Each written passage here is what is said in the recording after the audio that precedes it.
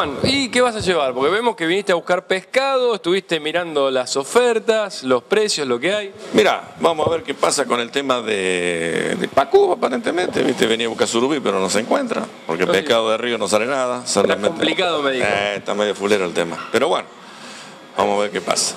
Bien. Algo vamos a llevar. ¿Y qué te gusta hacer a vos? ¿Qué te gusta comer? ¿Cómo te gusta comer el pescado? ¿La parrilla? ¿Te Me gusta la parrilla, me gusta la parrilla. Sí. La parrilla, viste, frito también es lindo, pero a veces te hace medio mal, viste, ya uno está medio, medio, medio saturado, un poco. el- Así que, pero no importa, vamos a ver qué pasa. Algo vamos llevar. ¿Cuántas veces al año compras pescado?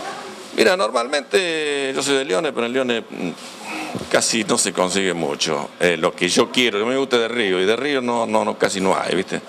Así que, pero normalmente una vez por semana me gusta, porque hace bien, hace bien el pescado. Pero bueno, O sea que lo tenés como un hábito. sí, sí, sí, sí. En casa, lo único que lo como soy yo, porque mi familia, el resto...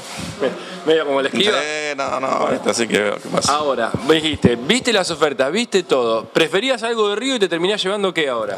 Mira, voy a llevar un pacú, pero son de criadero, no son de, digamos... Y nos decía Luis que cambie el gusto, ¿puede ser? Sí, sí, sí, hay una diferencia terrible.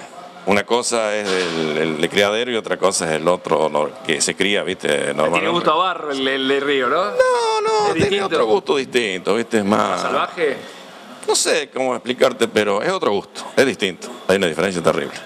Pero surubí también, ¿viste? El surubí es riquísimo, pero no hay. ¿Y sos de ir a pescar vos? Sí, sí, sí. Me encanta la pesca. Pero, ¿viste?